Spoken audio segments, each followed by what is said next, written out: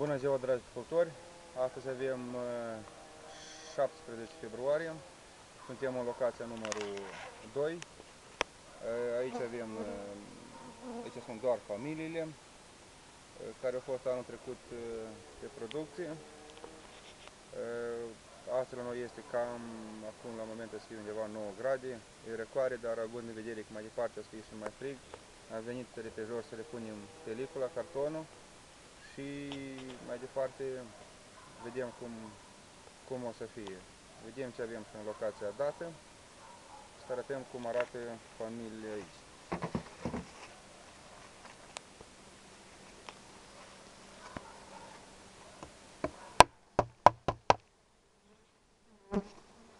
Asta e mai frig și ele astea sunt o leacă mai, mai agresivi. Pică, dai carton. Arată frumos, aseară am terminat e, locația cu roiuri. Am trecut prin toate. Sunt frumoase.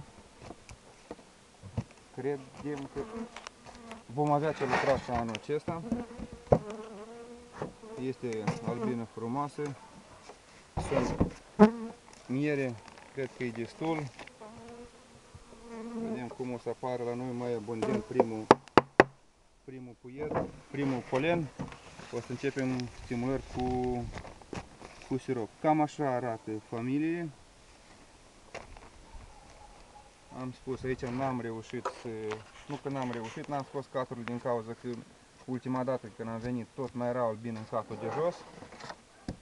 Și am decis că iernează așa, dar totuși cred că în viitor o să lucrăm în modul ca să putem scoate toate, toate caturile, să rămâie pe iarnă numai pe un cat. Fie mai ușor și la prelucrare și să fim fără grijă atunci când facem și tratament.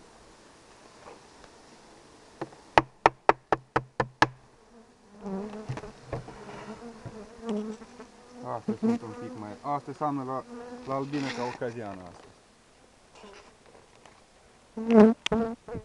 Nu mai înțeapă.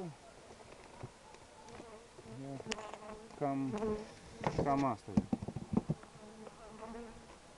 Am văzut ceva filmulețe zilele acestea puse din cineva din apicultori și doar ca, ca, ca o remarcă, așa cum mă gândesc eu.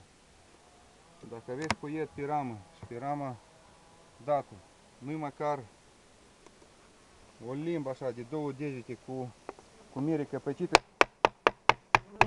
mă gândesc că acolo o să crească albine care durata ei de viață o să fie mai scurtă.